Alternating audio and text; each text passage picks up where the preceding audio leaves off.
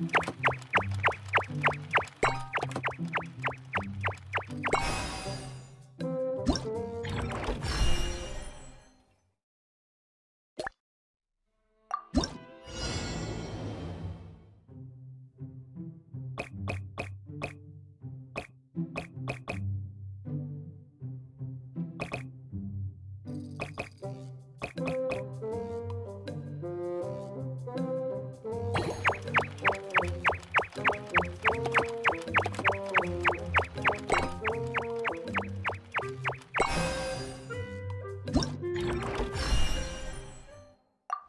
Every journey has its final day.